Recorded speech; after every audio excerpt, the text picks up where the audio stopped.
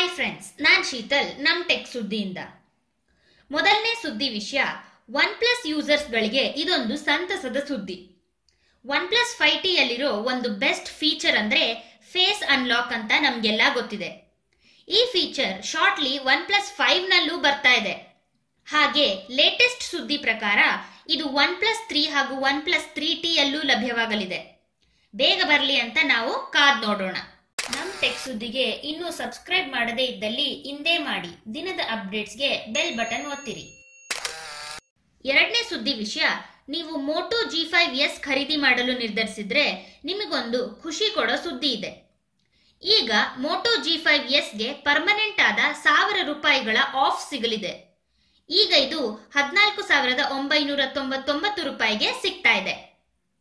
ಮೂರನೇ ಸುದ್ದಿ ವಿಷಯ ಜಿಯೋನ ತೊಂಬತ್ತೆಂಟು ರೂಪಾಯಿಯ ಪ್ಲಾನ್ಗೆ ಒಂದು ಒಳ್ಳೆ ಟಕ್ಕರ್ ಕೊಡಲು ಏರ್ಟೆಲ್ ಒಂದು ಹೊಸ ಪ್ಲಾನ್ ಅನ್ನ ಲಾಂಚ್ ಮಾಡಿದೆ. ಈ ಪ್ಲಾನ್ನ ಪ್ರಕಾರ ನೀವು ತೊಂಬತ್ಮೂರು ರೂಪಾಯಿಗೆ ರೀಚಾರ್ಜ್ ಮಾಡಿಸಿದ್ರೆ ನಿಮಗೆ one G B data, unlimited calls ಹಾಗೂ per day hundred S M ಎಸ್ಗಳು ದೊರೆಯಲಿದೆ. ಹಾಗೆ ಇದರ ವ್ಯಾಲಿಡಿಟಿ ಹತ್ತು ದಿನಗಳಾಗಿದೆ.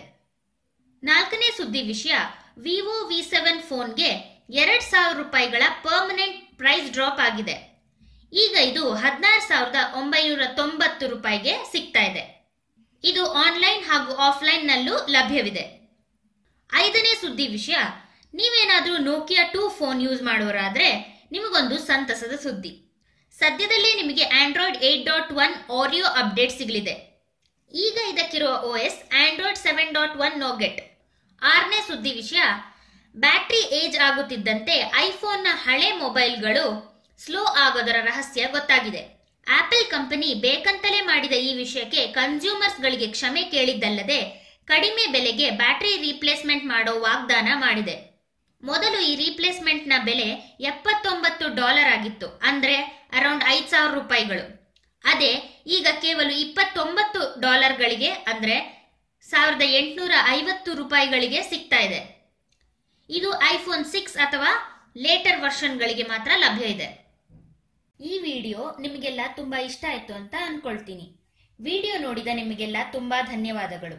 ಲೈಕ್, ಶೇರ್ ಹಾಗೂ ಸಬ್ಸ್ಕ್ರೈಬ್ ಮಾಡೋದಿಕ್ಕೆ ಮರಿಬೇಡಿ.